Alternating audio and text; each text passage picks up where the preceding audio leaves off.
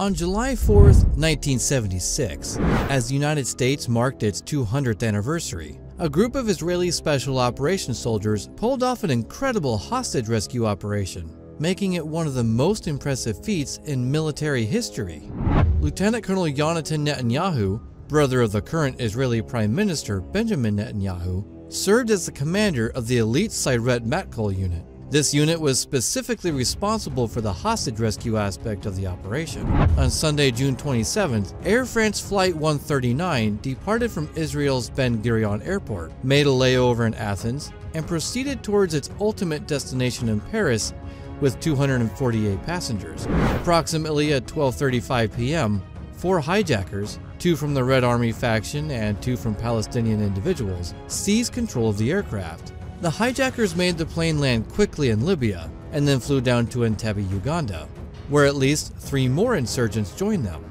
The hostages were taken to the old terminal building and guarded by insurgents and Ugandan soldiers. Back then, Uganda was ruled by the dictator Idi Amin. They didn't know at the time that Amin and his army were fully cooperating with the insurgents. The insurgents insisted on the release of over 50 individuals imprisoned in various countries, with the majority held in Israel. Although numerous elite units expected the country to take action, the vast distance made it seem unlikely that the Israeli Defense Force would actually carry out a rescue operation. As Yonatan and the Sayeret Matkal members were getting ready for a secret mission in Sinai, Egypt, they got word about the hijacking Avi Weiss, the unit's intelligence officer, mentioned that members not heading to the Sinai were on standby, waiting for updates. But once that they found out that the plane had gone to Entebbe, they were told to stand down because of the long distance which was more than 4,000 kilometers. The chances of getting the go-ahead for the mission seemed really unlikely.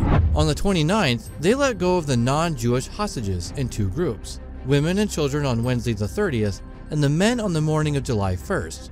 However, the Air France crew insisted on staying with their Jewish and Israeli passengers. This triggered the planning and execution of what would later be known as Operation Thunderbolt. This was a crucial time because, until the hostages were freed, there was hardly any information about how many insurgents and Ugandan soldiers were involved or where exactly the hostages were being held so planning a rescue mission was almost impossible. The lack of a workable plan and the insurgents' ultimatum set to expire on Thursday considered negotiating with the insurgent and possibly giving in to their demands. This went against Israel's usual stance of not yielding to insurgents' demands. The freed hostages were transported to Paris, and on the evening and night of July 1st, an Israeli officer conducted interviews with some of them.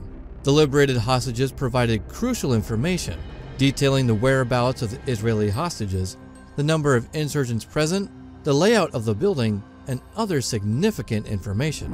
A Mossad agent piloted a light aircraft over Entebbe, simulating engine trouble. During this operation, he captured photographs of the area and reported that there were only dozens, not hundreds, of Ugandan soldiers guarding the building.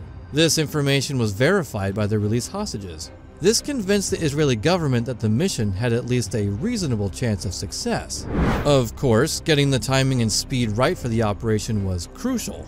Now armed with useful information, Yonatan, who had recently returned from the Sinai, jumped into action. They had to come up with a detailed plan and be ready to launch in just over two days. The Israeli Defense Force settled on Saturday night as the time to go for the raid, since the insurgents' deadline was on Sunday.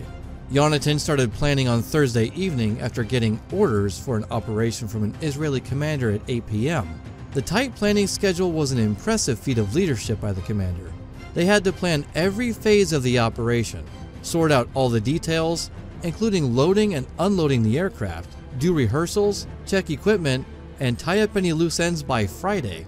On Saturday morning, there would be a briefing with Yonatan and his officers. After that, they'd leave Lod Airport late in the morning fly to Sinai around noon, and then wait there for the long 9-hour flight to Entebbe.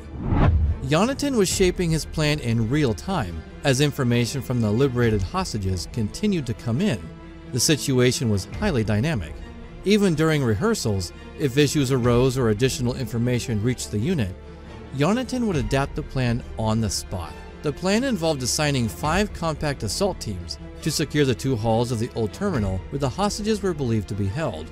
Yiftach Reicher, the unit's second in command, would lead the two teams tasked with clearing the west wing and the second floor, where Ugandan soldiers were known to stay at night along with the customs area.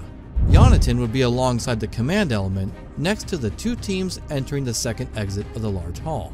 However, the main concern on everyone's minds was whether the mission would actually happen. Yonatan understood this skepticism well. He encouraged the men to believe that the operation would happen, no matter what doubts they might have had. Everything changed after the rehearsal on Friday night when the Israeli Defense Forces Chief of Staff told the unit that he planned to recommend to the government to give the approval, which they later did. Avoiding thunderstorms over Lake Victoria, the C-130 transports were nearing the end of their 7-hour and 40-minute flight. They landed without being detected, just a minute later than planned. The second and third Israeli planes arrived six minutes later, bringing in reinforcements and troops assigned to help combat the Ugandan forces around the airport. The fourth aircraft, the only one with enough fuel for a round trip to Entebbe and back to Israel, arrived empty, ready to evacuate the hostages. On the first C-130, they intended to use a limo that looked like Idi Amin's, with the Israeli commandos dressed as Ugandan soldiers and accompanying jeeps filled with more commandos. The Mercedes used for this disguise was in bad shape. It had a bunch of problems. During the rehearsal on Friday night, the Mercedes wouldn't start and a jeep driver had to give it a push to get it going. Yonatan's team drove slowly and calmly toward the old terminal, pretending to be Ugandan forces.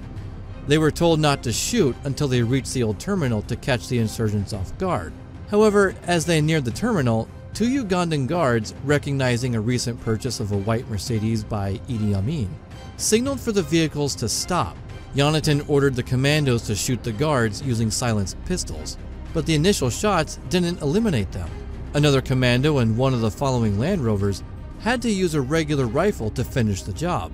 Now the rescuers were worried they might have lost the element of surprise and rushed to the terminal. The hostages were in the main hall of the airport building, right next to the runway. Upon entering the terminal, the commandos shouted through a megaphone to stay down. They are Israeli soldiers in both Hebrew and English. The lightning fast attack, lasting just six minutes, resulted in the elimination of all eight insurgents. Ugandan soldiers shot at the Israelis from the control tower, and unfortunately, Yonatan was killed as he led the hostages towards the safety of the aircraft. Five other Israeli commandos were injured during the operation, and 45 Ugandan soldiers lost their lives in the confrontation. Just 20 minutes after arriving, Israeli Defense Force soldiers started the evacuation of the hostages in the fourth aircraft. By 23 hours and 59 minutes, the planes were en route back home. But let us know what you think in the comments section below. If you found this content entertaining or helpful, don't forget to give it a thumbs up and consider subscribing for more content like this one. And thanks for watching.